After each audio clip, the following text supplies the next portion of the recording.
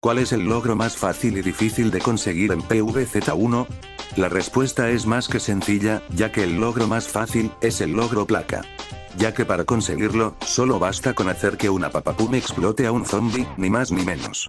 Y ahora como el logro más difícil, y creo el más obvio, es ronda afortunada, ya que para este logro, no es necesaria la habilidad, sino la suerte de que te toquen tres diamantes en el minijuego de las tragaperras, ahora ya no te preguntarás.